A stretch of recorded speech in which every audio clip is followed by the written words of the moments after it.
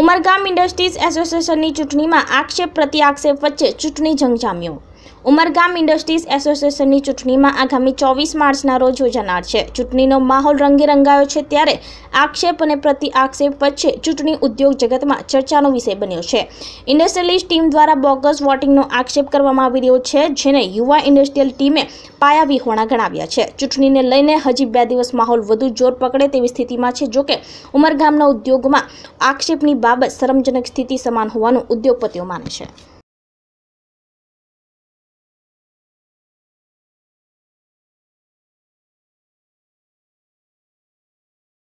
આવા લગભગ અમારા હિસાબે પચાસથી સાઠ છે.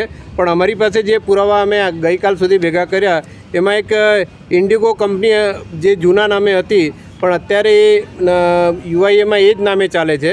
પણ એના ઓરિજિનલ માલિક રેખાબેન ધીરેન્દ્રભાઈ શાહ છે. એટલે એવા ઘણા પુરાવા છે. અને અમે આજે એમને આપ્યો છે અને ઇલેક્શન કમિટીએ અને દિલીપભાઈ સોની જે ચેરમેન છે, એમને બી અમને આશ્વાસન આપ્યું કે, ભાઈ, તમે પુરાવા આપો.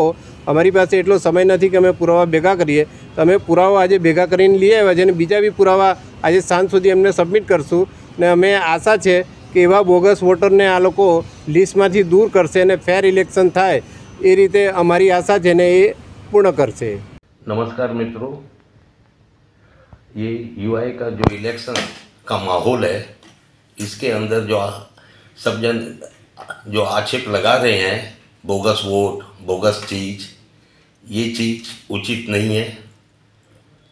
कोई भी इंडस्ट्रीज़ के प्रति आज तक इंडस्ट्रीज़ सुचारू रूप से इंडस्ट्रीज़ में इलेक्शन होते हैं, वर्षों से ये जो कमेटी है, प्रीवियस यही कमेटी ने दो तीन बार इलेक्शन बहुत व्यवस्थित तरीके से करवाया हुआ है।